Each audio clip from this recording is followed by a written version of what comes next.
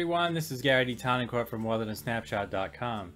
Today I wanted to talk to you about customizing the buttons on the Canon 5D Mark IV. There are a lot of options for customizing these buttons that can make your photography faster and easier and I'm going to talk about some of those now. I'm going to talk about some of the things that you can customize. Number one, there are three custom settings, C1, C2, and C3. So you can completely customize whole profiles how you want the camera to shoot. So for example, you could set up one profile for the common settings you use for shooting portraits, or another one for the common settings you use for shooting sports, and another one for the settings you typically like to use for shooting at night. So there is a lot of ability to customize everything about the camera. I'll probably do a separate video about that. Today I wanted to talk more about customizing the individual buttons and what things that uh, you might find useful.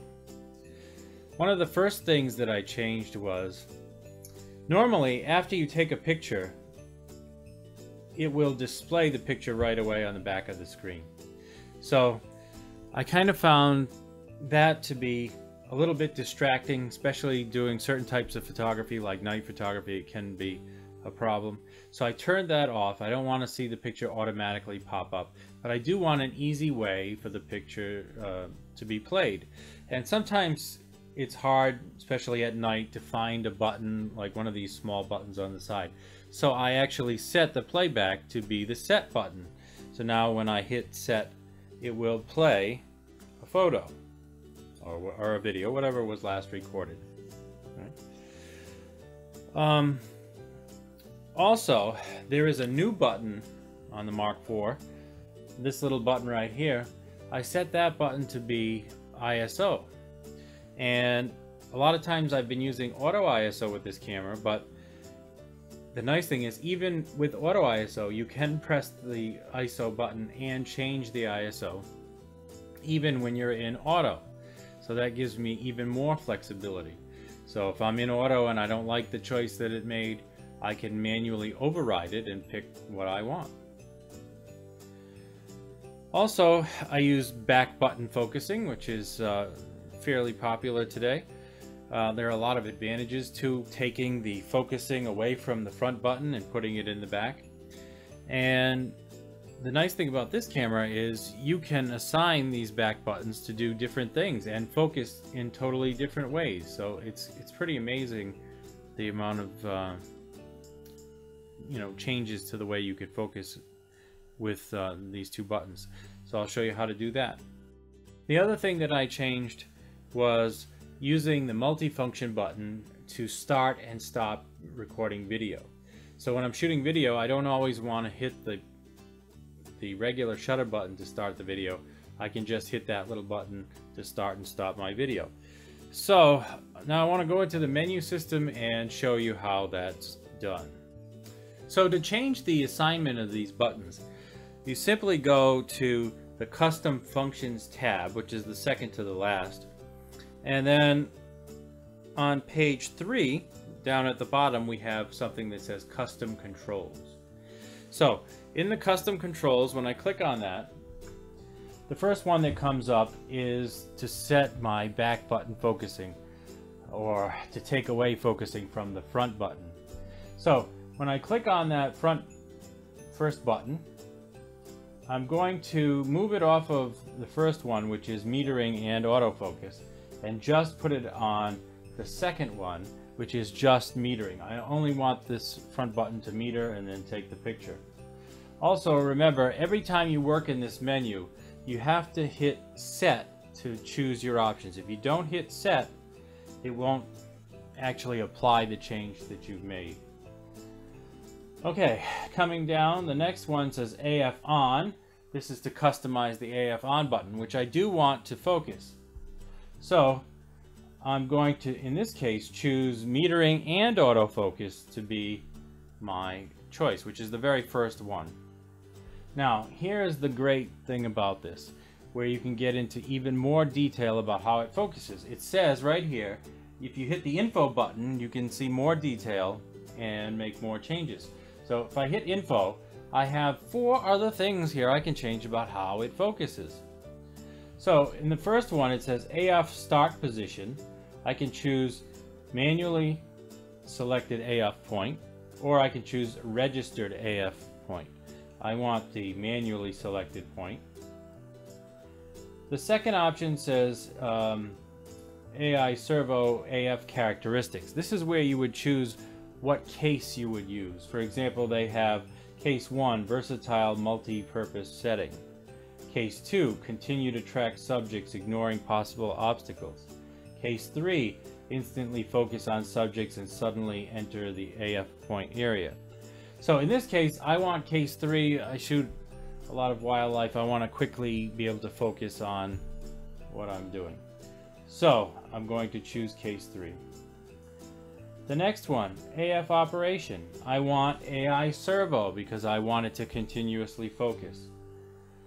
And then AF area, of all the AF area choices, I'm going to pick spot AF because on this one I want to have very precise control over where I focus.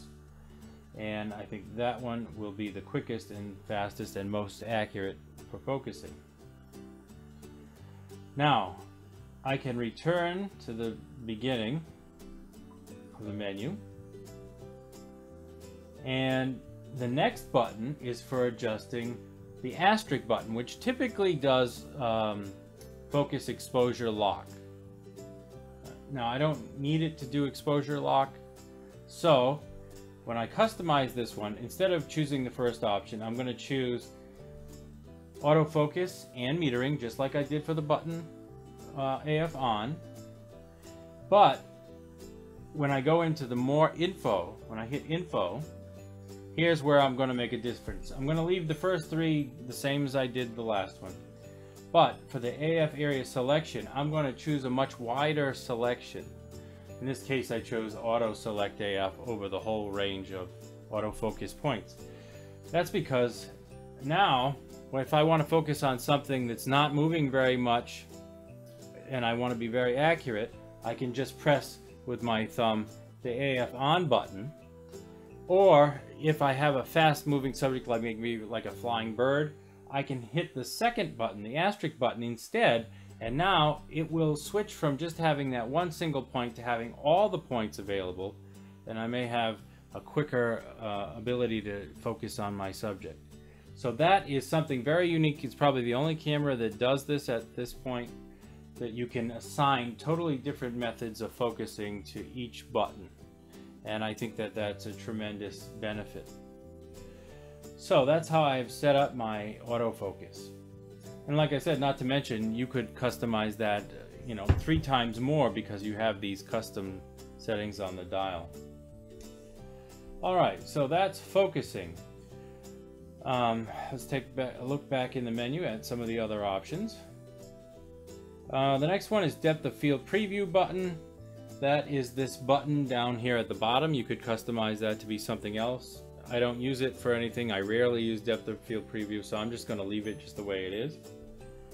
Uh, lens AF on or off. Um, I don't change that one. I don't really use that one. On the next column it says uh, multifunction that's this little button up here at the top. And as, as I said, I've changed that to be starting and stopping video. And I like that better than having to hit the um, shutter button. The next one is uh, the set button. And I have changed that to play back your last image. I find it much easier, especially when working in the dark. I, sometimes it's hard to hit the right button so just to hit that button, it's very easy for me to bring my thumb over and hit it and see the last image that I took. The next two are um, the dials and I left them as the default. So this one is controlling the shutter speed. The back dial is controlling the aperture when shooting. Then we have the multi-controller. I use this and it's set by default to control where the AF point is located. I like that. You can just look in here and use this little joystick to move your AF point anywhere you want. It's quick and easy and um, that's a good option. And then the very last one is the new button. And as I mentioned, I've set that one to be ISO because it's a nice quick way to find where your ISO is instead of having to remember, oh, it's the second button in and then especially again if you're working in the dark you'd have to try to feel okay which button is the right one. Here I can just hit this button and I know I'm on ISO so that is how I customized all of those settings for the basic buttons. Now I just wanted to also mention that you can customize the quick menu. So I'll just quickly show you where that is and I'm probably not really going to do it in this video. It would be a much longer thing and I don't want to mess up my quick menu in, in the process. So this one is under the wrench and it's on page three and it's called custom quick control. When you go into that it says start editing layout, revert layout to default or clear all items. So if you wanted to make changes to that custom menu, you'd have to start editing layout. And then it asks you if you wanted to add an option, remove an option, or select and continue and confirm, or set and confirm. So that's how you can customize that menu. So it may not be the most customizable camera out there, but there are some very key features that you can customize that make it very handy and very easy to use. So I hope you find that useful. Please let us know in the comments what you like to assign your buttons for. And we'll see you next time. This has been Gary D. Tonicourt from morethanasnapshot.com.